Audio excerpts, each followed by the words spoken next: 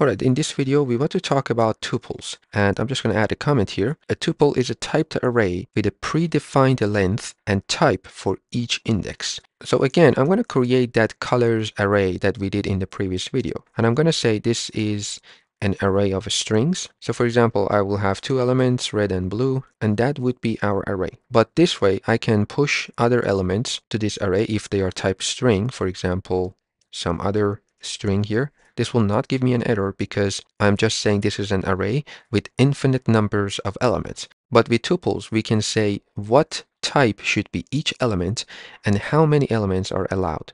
So I'm going to comment this out or delete it either way. And I'm going to create a new variable with let because I just want to initialize it without a value. And I'm going to call it password. And imagine this is a pattern for a password. So with tuples, we can set the type to an array. So you notice we are starting with the brackets, not with a type. And then within the brackets, we can set the types.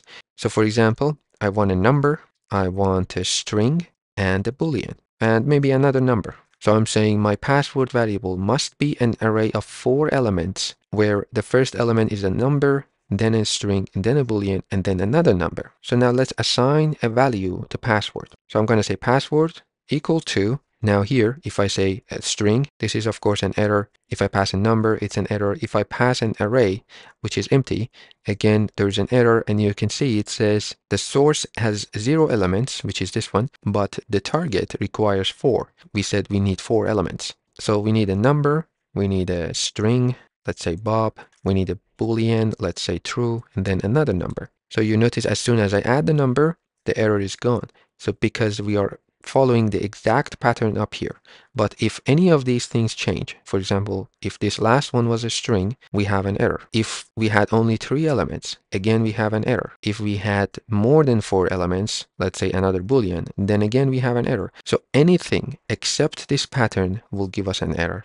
So a tuple can be very useful where you expect certain number of element with specific types. Now we could also have named tuples. For example, Right now, this password, it just says we need a number, a string, boolean, a number, but it doesn't say what's the purpose of them or where they go. Let's have a better example. For example, we are creating a chart and we need the values for that chart. So I want to have an array with numbers and string.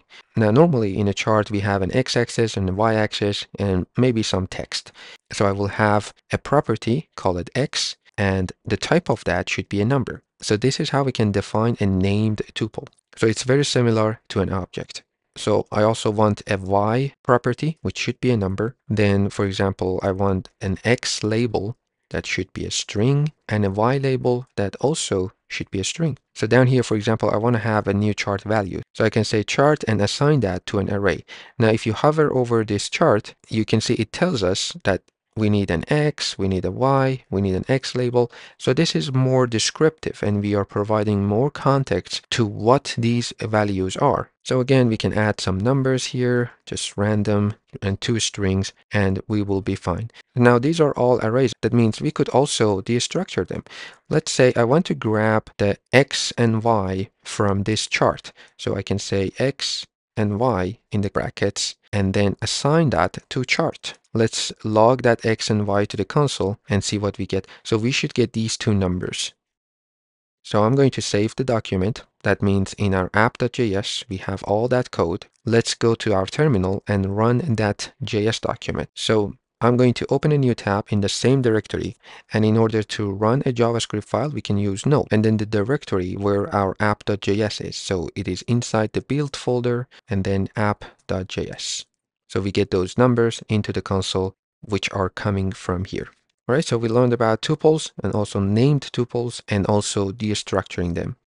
I just want to add a side note here. In our app.js, you notice we are also including all the comments. We could avoid this by going to our tsconfig file and just search for comments.